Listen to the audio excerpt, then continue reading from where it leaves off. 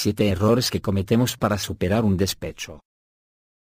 Lo cierto es que hay una serie de errores en los que caemos intentando olvidar a esa persona que en otro momento fue nuestro motivo de felicidad. 1. Comenzar una relación inmediatamente.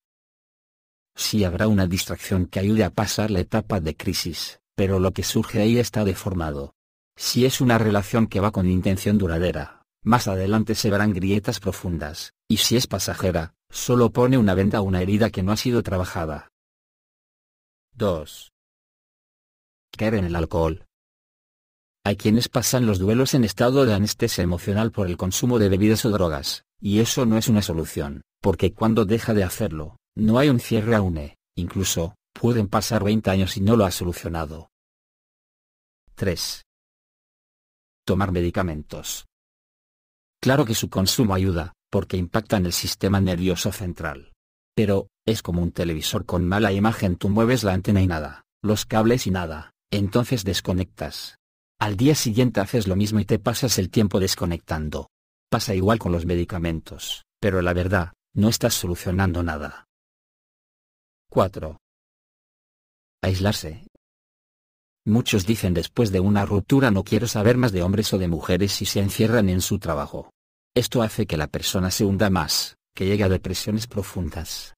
Estas tristezas son manifestaciones creadas por la misma persona, que crea pensamientos pensando en determinado evento que afecta a sus emociones. 5. Manipular al otro.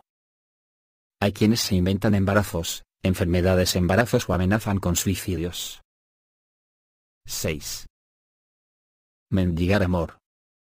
Prefieren tener a la persona a su lado, aunque sea dándoles el más mínimo afecto o, incluso, aceptando su desprecio.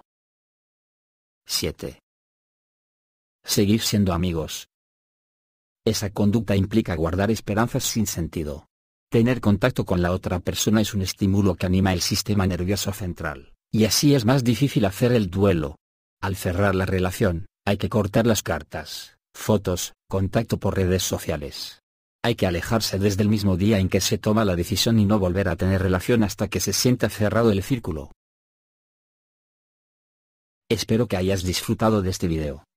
Recuerda darle like si te ha servido y compártelo con tus amigos y conocidos. Suscríbete a mi canal para recibir alertas cada vez que publique un nuevo video.